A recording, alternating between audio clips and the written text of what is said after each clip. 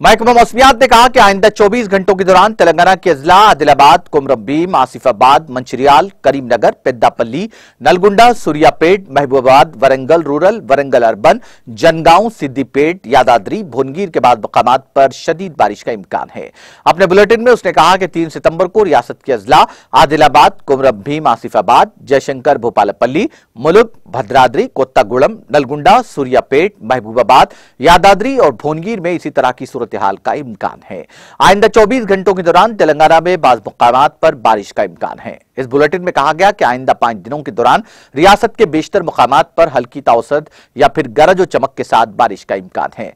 तेलंगाना में गुजशत 24 घंटों के दौरान जुनूब मगरब मानसून सरगर्म रहा है। इसी दौरान अजला, आदिलाबाद, जगतियाल, निजामाबाद, नलगुंडा और सूर्यापेट में शदीद बारिश हुई नाजरीन, हमारे टीटीवी न्यूज़ को सब्सक्राइब करिए बेल आइकॉन को प्रेस करिए शेयर करिए और लाइक करना ना भूलें। और किसी एडवर्टाइजमेंट से मुतल जानकारी के लिए हमारे इस नंबर पर कांटेक्ट कीजिए। हमारा नंबर है nine double five zero one zero two zero two zero